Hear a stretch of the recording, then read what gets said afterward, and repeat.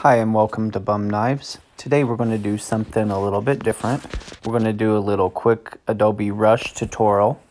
Uh, we're using Adobe Rush on an iPhone XR.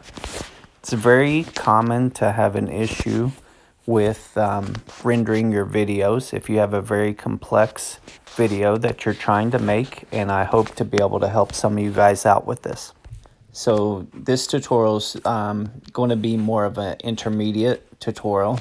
So it's going to assume that you have some use and knowledge of the app already or at least some moderate video editing skills. Okay, so what could be causing this issue? That's what we need to think about.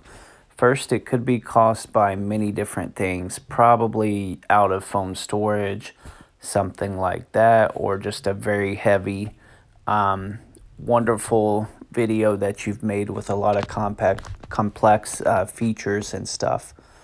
Uh, and for whatever reason, it just does not want to render. Okay, so this is just going to be a quick and dirty quick fix that might be able to get you guys through if you're struggling with the same issue that I had. Um, there are a lot of good tutorials out there that could walk you through a much more in-depth um, analysis of how you could solve this problem going forward. And then after I show you the quick fix, I will show you some other ideas to maybe help prevent this in the future as well.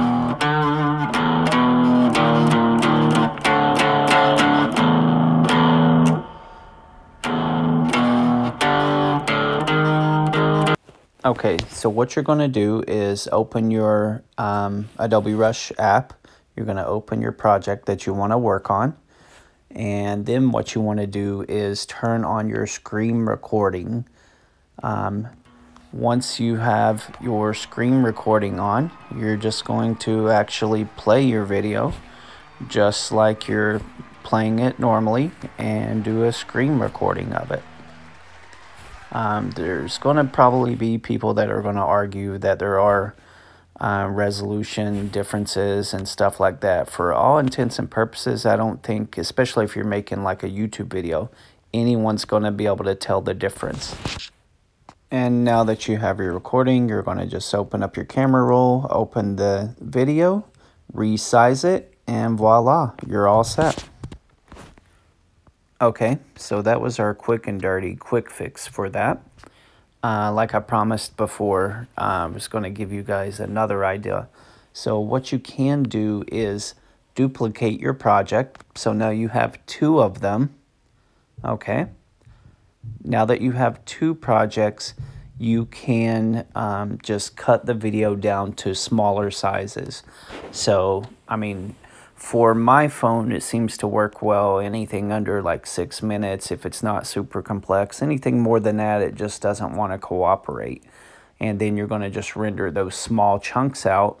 And then once you have the actual video rendered out, you can open up um, another project and piece together the videos and have like a very long project without any issues for today. I just wanted to make something quick and simple, a little tutorial that if you've been struggling with that, hopefully will help help you out. Um, feel free to follow me on my YouTube under Chris Sproles for Bum Knives for exploring the world of knife making.